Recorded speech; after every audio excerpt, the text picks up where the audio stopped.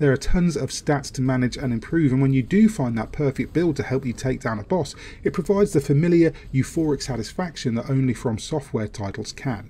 Armored Core 6 Fires of Rubicon is a refreshing title from FromSoft. It challenges you to stockpile weapons and armour and grow your armoury for a host of different scenarios. Some of the bosses are tough, but those same core principles are just as important here. Study your enemy, be patient, and when the time is right, be aggressive.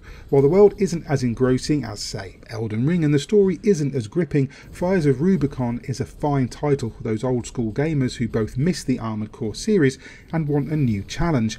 The omnidirectional movement is exhilarating, as is the combat. Just be prepared to experiment a lot and replay longer missions if you don't have that one important ingredient to beat a boss. But today, I'm going to score Armored Core 6 Fires of Rubicon a 9 out of 10.